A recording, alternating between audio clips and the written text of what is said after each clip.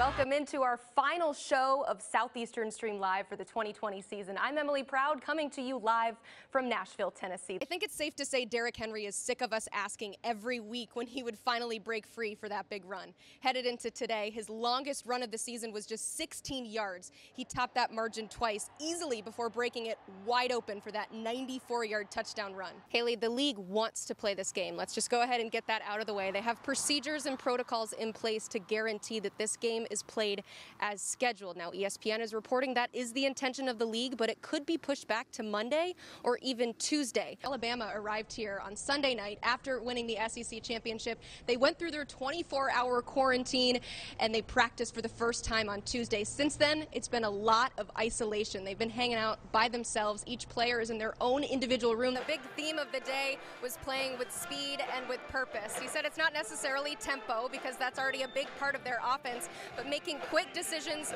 and deliberate decisions. You're well aware of, of what Nashville's like. It's it's busy, not just uh, from the music scene, but but the sports scene as well. You've got the Titans and the Preds, and now we've got a new professional soccer team in here. I mean, there's so much going on. Where do you envision Vanderbilt football fitting among that landscape?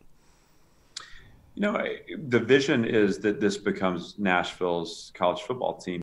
Well, it's tough to nail down the biggest problem Tennessee athletics is facing right now between the head coaching vacancy at its most profitable sport, no athletic director, and what UT Chancellor Donde Plowman referred to as, quote, serious NCAA violations. Isn't it beautiful? The Packers, they tweeted this out just a few hours ago. They gave us permission to show it to you, and it looks like we have a snow game in store tonight. We knew it would be cold, but it isn't December in Lambeau without some of those wintry elements. Hopping the Gators 54 to 16, and no doubt that's the goal again this weekend. Simone Eli joins us from WIAT in Birmingham. And Simone, that Alabama team put up 50 plus points, and this Alabama team seems to do that on the regular. Is that the key to victory this weekend? Points and lots of them? It's a three day football festival featuring NFL related exhibits. And of course, this is Nashville. Live music. They will not be able to play their first round game against Oregon. It is now deemed a no contest, and Oregon will just move on to the second round. Hopefully, that is our only bit of breaking news that we have here. Just wanted to keep you up to date on that. But let's talk about this Texas game with Abilene Christian.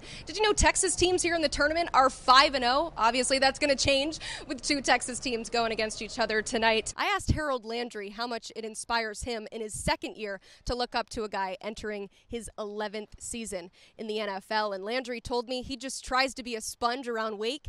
Also added, he's the GOAT. It's strange that we have to go out of our way to make sure the quarterback of an 11 win NFL team finally gets some credit, but we'll just call that the Derrick Henry effect. Somehow, someway, despite 40 touchdowns this season, Ryan Tannehill still flies under the radar. You like to think the guy doesn't make excuses if he doesn't have his fullback, if he doesn't have one of his best blocking tight ends. Hopefully, he can still make some things happen. Who are you most afraid of on this Colts team? The boogeyman, Andrew Luck, is now gone, so who's taking over for him?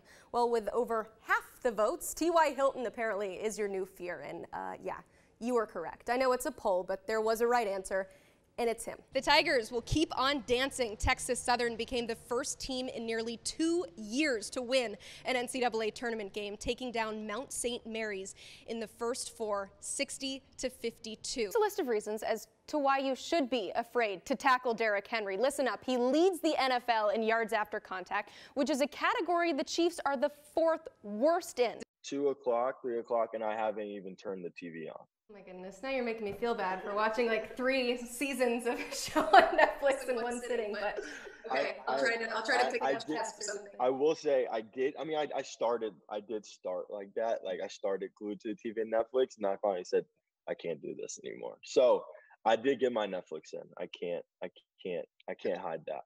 So you are human, so that's I am human.